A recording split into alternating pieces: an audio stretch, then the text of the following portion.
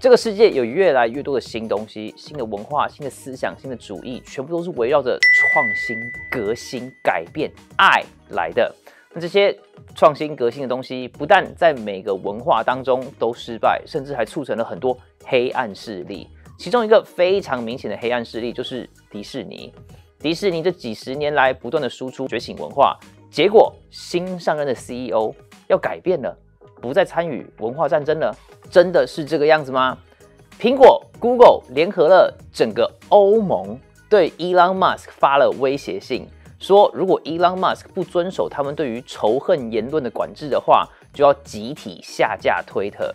这边可以先说到，就是苹果跟 Google 是公司，欧盟是集体的政府，这个样就是摆明的官商勾结，不是吗？打击自由市场，不是吗？就在这个时候，佛州的州长 Ron DeSantis 出来说话了。如果这些组织这么做的话，他会行使反垄断法来制裁这些公司。那么，我们应该怎么看这些事情呢？这样子算是在扩大政府权力吗？美国有一个大新闻，一个健身的网红被曝，他长期以来施打类固醇维持体态，并不是跟他说的一样，只要吃全部都是吃生肉跟内脏来的。这个跟我们有什么关系？今天好好来讨论一下。我是 Ethan，欢迎收看今天的 AI News。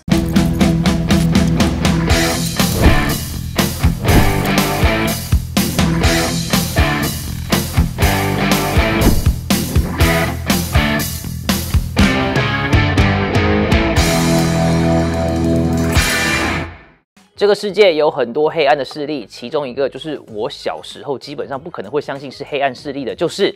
迪士尼，迪士尼的 CEO Bob Iger 终于对于迪士尼不断输出的觉醒文化，还有迪士尼大量的参与在政治圈的影响力评论了。其中当然包括佛州的州长对于迪士尼的自治区取消优惠，为了要打击迪士尼的觉醒文化。我们看到了很多的保守派的新闻平台都会说，迪士尼的 CEO 声称要离开文化战争。迪士尼终于学乖了，决定要摆脱这个脱离左派控制了。我不知道他们听到的是哪一句有这个样子的倾向，但是跟我听到的内容完全不一样。Here's a virtual question. Many cast members had wished that Disney stayed out of politics. Will Disney stay out of making political statements? You know, I think. Uh, there's a misperception here about what politics is. And I think that some of the subjects that have proven to be controversial as it relates to Disney have been branded political, and I don't necessarily believe they are. I don't think when you are telling stories and attempting to be a good citizen of the world that that's political. Just not how I view it. Do I like the company being embroiled in controversy? Of course not. It can be distracting and it can have a negative impact on the company. And to the extent that I can work to kind of quiet things down, I'm going to do that. But I think it's it's important to put in perspective what some of these subjects are and not just simply brand them political. 那呃，很多保守派的频道会说，这是这位新的 CEO 是说要比较低调行事，不要再参与在政治的议题上面，在文化战争上面要保持中立。然后说什么迪士尼的新的政策促成了股票大涨啊，投资者重回信心之类的。他们呃，才我我我当然知道这个电影是他当 CEO 之前就制定出来了，但是他们才刚出了一个专门为同性恋。家庭破碎、气候变迁的儿童卡通电影，你说他们现在在回心转意？我觉得这位 Bob Iger 是在说，对我会低调行事，因为迪士尼要继续赚钱才可以。但是我不会从这个文化战争当中退出，我会带领迪士尼更加的参与在这个世界组织跟文化战争当中，继续洗脑小孩。你在里面听到他的说法是。我觉得有很多东西被政治化，但是我不认为那些是政治的议题。例如，当一个称职的世界公民 （citizens of the world），首先，我们每次只要提到“公民”这两个字的时候，我们就是在讨论一个政治议题。如果公民不是政治议题的话，那这个世界上就没有所谓的政治这个东西了。当一个公民，就代表你参与在一个公共的政治系统里面。所以这位 Bob Iger 或者是 Robert Iger 可能是在装疯卖傻，不然就是这个人天性迟钝。当然，当到一个世界等级的大公司的 CEO，不可能天性迟钝。也就是说，这一段话就是他在装疯卖傻。因为他在说 “citizen of the world” 世界公民这个名词是一个非常政治化的名词。不过要记得，世界公民跟国家公民是完全对立的。当一个世界公民，就是在接受全球社会。我小时候常听到“地球村”这个词，是完全跟国家主权的想法是完全对立的。我小的时候在台湾常常听到什么“地球村”啊、“世界公民”这样的词汇。我现在长大了。我真的就不知道当时台湾的政党的活动都是在干嘛。地球村跟台湾独立是完全对立的，跟中华民国也是完全对立的，跟中国大陆说的一个中国也是对立的。地球村跟世界公民的思想就是你说的不算，这个世界没有国家。你们是什么？你们对于这个自己的定义是完全没有意义的，一切是要联合国的这个国家组织说了算。那这个有点扯远了。我不认为迪士尼学到了任何东西，我不觉得迪士尼会退出文化战争。如果他们有学到什么的话，大概就是要低调一点。他们不能派一个公司的大官在外面说，我们拍的节目，我们所有的卡通，我们会用全部的力量来推行同性恋跟变性人。他们只能在暗中进行，私底下来，还不能跟巴黎世家一样，直接把性虐待的广告跟儿童色情片的内容直接放出来。这个样子会让普通的美国人发现，让整个州立法把你的福利取消。例如像佛州的州长 Ron DeSantis 对迪士尼做的事情，而且说真的，这个就是为什么迪士尼认为他们要做任何的改变。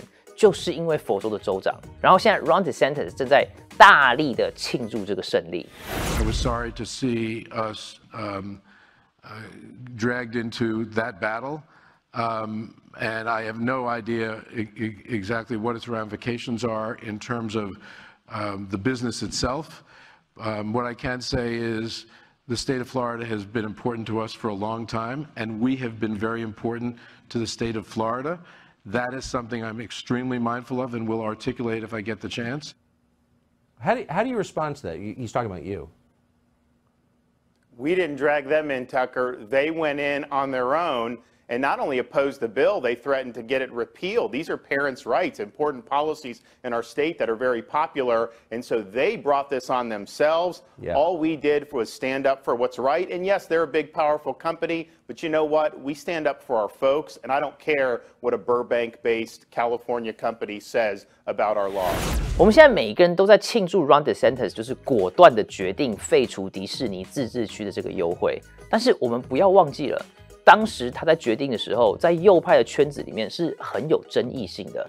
当时有很多右派的人，呃，算是传统自由派的吧，就是呃小布希那个时候那样子的共和党人，一天到晚什么把包容啊、爱呀、善良善啊放在嘴巴上那种，就是自称的保守派，在那边说我们要的是自由市场啊，要公平竞争啊，多元才会创新啊之类的。说穿了就是那些自称新保守派的那些假冒伪善的人。在那边说，我们不能使用政府的力量来做任何的事情，这样子的话，我们不就变得跟左派一样了吗？我其实某层面上也是这么认为的。我觉得我们应该要传福音，改变人的心。只要所有的人都了解十诫跟圣经的价值观的话，这个世界就会变得更美好，变得更和平。但是后来我发现，这个想法实在是太天真了。人有太多的想法、私心、欲望、邪念来去做坏事。不使用政府的力量，简直就是高举双手投降。那些人嘴巴上说是基督徒、保守派，但是其实他们就是没有任何的底线，让社会彻底烂掉的来源。就是那个样子的人才会说，Ron DeSantis 不该这么做，他不应该阻止一个公司的自由。迪士尼在推行小孩变性，是迪士尼的自由才对啊。然后另外一边，真正的保守派才会在那边说，Good job, Ron DeSantis。你们就是要这么做，我们就是要这么做。我们要打败左派，就是要使用政府的力量来去做正确的事情。但是我们在这边不是在说我们认为是正确的事情，而是符合圣经真理的正确事情，不是要以我们的观点跟方式来创造政策。这样子的话，就跟左派的做法是一样的。我们要做的事情就是以圣经的道德跟价值观来立法，来使用政府。政府跟政权也是神赐给我们的，而且是反映我们整个社会方向的一个治理模式。我们每次投票、每次立法，我们都有义务要去做正确的事情。如果我们每个人都想船到桥头自然直，一切交给神，那么我们的国家就注定堕落。我们只有使用政治的力量，选出正确的人，才能把迪士尼那样子弯曲背逆的公司转回来一点点。或者我们才有能力抵抗那样子的力量。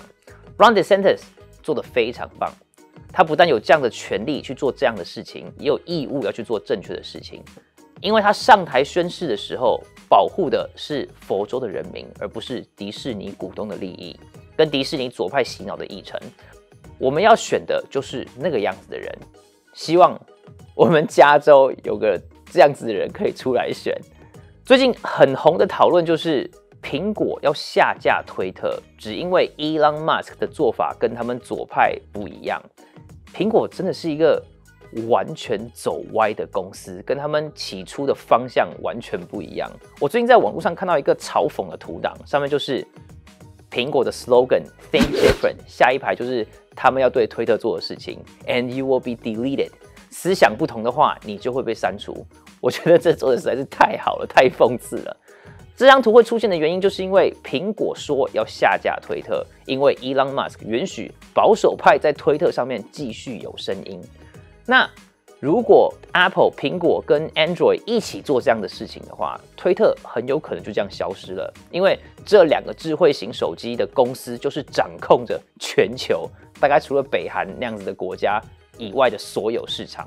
Ron DeSantis 在同一个节目上面就讲说，如果苹果真的下架推特，我们就会行使 antitrust 反垄断法，然后击垮他们。Well, Tucker, in the States, you know, we did big tech censorship bill two years ago. It's gotten caught up in the courts. I think the U.S. Supreme Court's going to accept that case for this term. Texas has a similar case. There's a conflict in the circuits. And so, whatever the states can do to protect people's rights to engage in free expression. And you know what some of these companies do, they get a lot of benefits from the government, as you said, patent things yeah. like that. The social media companies get liability protection. And yet they turn around and they use that protection to marginalize voices they disagree with. So I think from the congressional perspective, though, they need to look at antitrust uh, with these massive companies because they are exercising massive amounts of power over our society。这里最好玩的地方就不再是左派对上右派，不是什么右派的 Ron DeSantis 对上左派的苹果。这里最有趣的政治角力就是右派对上右派，右派的自由主义人士对上右派的保守派，不再是那种就是呃，如果你不喜欢苹果的话，你就自己去做一个苹果跟苹果竞争啊，而是现在有一群保守派的人在说，不是的，你不能这样，我们会使用权力让你守法。你不应该有特权，只因为你很有钱。你们在滥用你们的权利，你们扭曲我们社会的价值观，你们在做一堆很恶心的事情。我们要使用政府的力量，让你守你自己的本分。然后，Ron DeSantis 这次跟保守派站在一起，这是一个非常大的拉扯。我们真的要把这样子的权利给政府吗？就算是给 Ron DeSantis，这个是大家可以想想看的。那么，这个思想上的拉扯是什么呢？就是。政治是由文化产生的，对上法律是最好的老师。也就是说，我们要支持自由市场来使用文化来改变政治，还是我们要使用政治的力量来把不好的文化驱逐？我一方面认为 Ron DeSantis 有义务要来使用法律来打击那些邪恶的公司还有集团，但是我另一方面又不觉得说他应该有权利。跟中国共产党分解马云的阿里巴巴那样子，因为这样子的政府就更有权利了。那么我们应该怎么来看这件事情？请大家在下面写下你的想法。要是你几年前问我的话，我绝对不会站在佛州州长这一边，我会认为说自由市场比较重要。但是这里出现了一个问题，就是这些左派的公司。已经有左派的政府保障了，他们已经在用政府的力量来摧毁自己在商业上的对手了，他们已经促成了垄断，他们已经是官商勾结了。不只是美国政府，整个欧盟都是这个样子，欧盟也在里面说要封杀伊朗马斯克，他们全部都跟苹果站在一起。以下是美国最支持共产主义。最支持中央集权、最支持言论封锁的人说，没有人应该有这样的权利。 But some Democrats want the old Twitter back. So does the European Union, who has now threatened to ban Twitter if Elon Musk does not follow a checklist of rules and stop what they consider an arbitrary approach to reinstating banned users. Senator Elizabeth Warren also has a problem with how things are being run at Twitter HQ with Musk in charge. Elon Musk is doing just fine. But do you think that users have a right to freedom of speech, even if what they're saying is wrong or offensive? I think that one human being should not decide how millions of people communicate with each other. And it doesn't make any difference who that human being is. One human being should not be able to go into a dark room by himself and decide, oh, that person gets heard from, that person doesn't. Elizabeth Warren，是吧？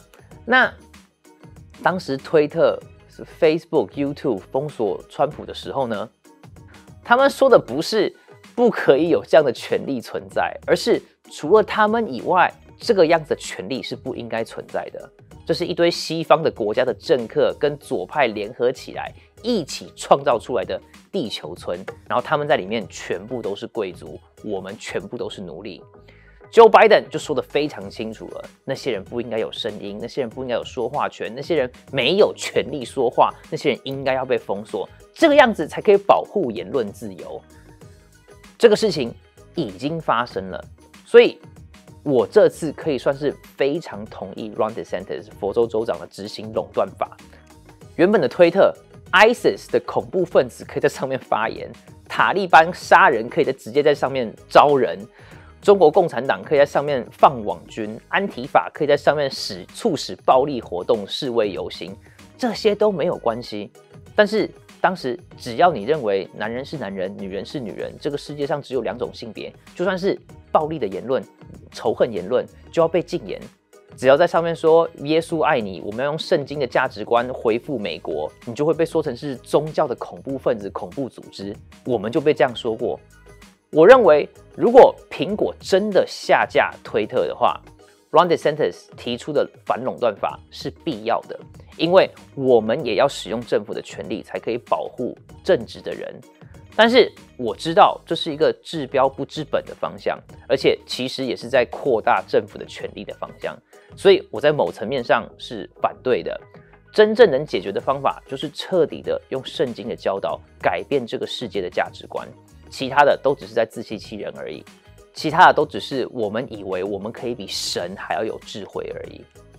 那说到欺骗，最近有一个大新闻爆炸了。我知道 Kanye 也上了 Alex Jones 的节目，说他爱希特勒，然后戴着那个 Balenciaga，我根本就不知道那个是什么的一个头套，然后旁边放着一本圣经，在那个地方真的是在发疯。OK，我们就来探讨一个对大家重要的新闻。就是有一个叫做 Liver King 肝王的健身网红，他被曝他是个骗子。我知道更冷门，但是请大家看完我这一篇，相信我，到最后是会有意义的。那各位知道 Liver King 是谁吗？我在写这篇新闻之前，我也不知道他是谁，我只知道之前刷 Facebook 的时候，有的时候会看到他，我现在才知道他叫做 Liver King，他就是一个超级壮的一个人，然后从来没有穿过衣服，然后每天就在那边吃。呃，很大只的动物的内脏，而且是生吃，然后就说他的身材、什么肌肉线条、体脂都不是靠药物来的，就是他就是跟原始的动物一样吃生肉，然后运动，然后才变成那个样子的。我们就来看一下这个特殊的健身方式。 Liver King here. We just finished butchering the cow. The first thing we had was the liver, of course. Now we're gonna have some lung.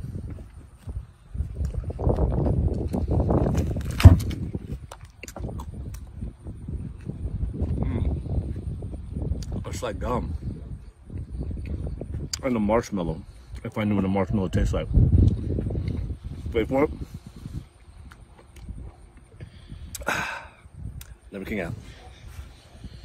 那呃呃，我不知道哎、如果说真的要逼我这样吃的话，至少要撒一点盐吧。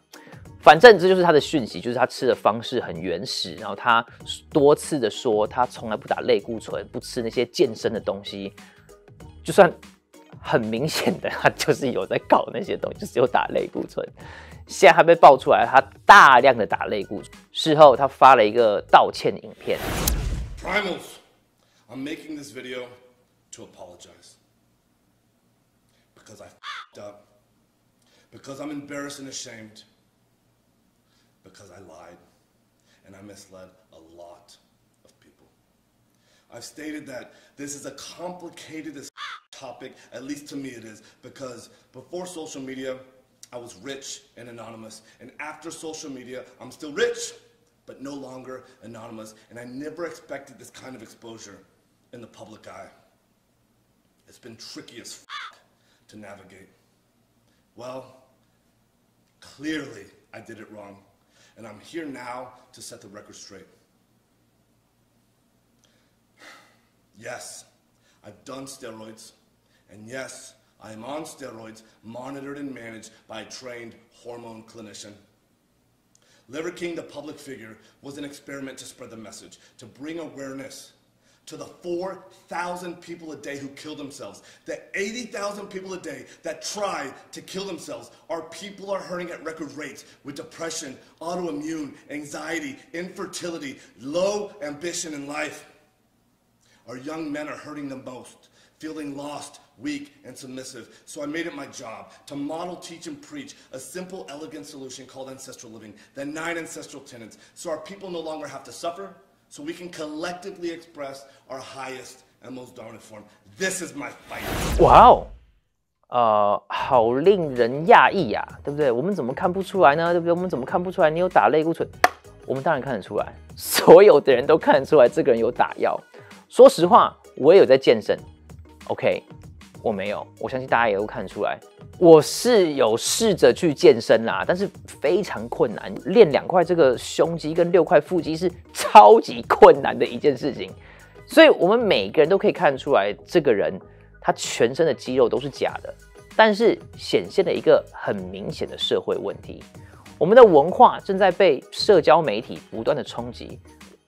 正在无止境的被这个明星文化、流行文化冲击，导致我们对于正常的事情麻木了。所以说，我们不断的追求刺激的东西、更吸睛的东西，不管是在 AI News 上面，还是在颜值攻略上面，我们其实不断的强调的就是，当一个正常的人，当一个正常的人很好，有正常而且正确的三观的价值观是非常好、非常正常的。我们不需要接受八十几个性别才算是进步，我们不需要呃一定要支持黑命贵才表示有爱，我们不一定要支持同婚才代表民主，我们不一定要支持乌克兰才代表反共，这些都是社会的同挤压力造成的错误的观念。人类很容易被这些极端的刺激的事物吸引，我们看到这些。很明显不是真的东西，我们会告诉自己说，我我们会洗脑自己说，或许我们的认知是错的，或许这些东西是真的，但是常常就都是假的。我们常常被骗，例如什么罗斯柴尔家族啊、Q 啊那些东西，常常就只是政府扩大他们的权利而已，常常就是圣经里面不断的告诉我们不要被骗，要加强自己的独立性。因为政府其实都是坏人，他们只是想要无限的扩大他们的权利而已。绝大多数的情况下，我们是可以相信我们自己对于对错的认知，还有基本常识，外加上几千年来流传下来的习俗跟文化，特别是基督教的国家，绝大多数的人类千年留下来的文化还有生存方式，会比突然出现什么主义彻底改变的生活方式。的议程更适合我们生存。例如，在某个网红的 YouTube 上面说了一堆很不合理的东西，全部整合起来合理化一切的阴谋论。不管是 Kanye West 说什么二战希特勒没有杀犹太人，还是小粉红说中国大跃进的时候没有饿死六千万人，还是一个健身网红说呃吃生肉跟内脏就可以变成那个样子。如果那些东西听起来很不合理，是很单方面的这个思想，又不符合圣经的话，绝大多数就都是假的。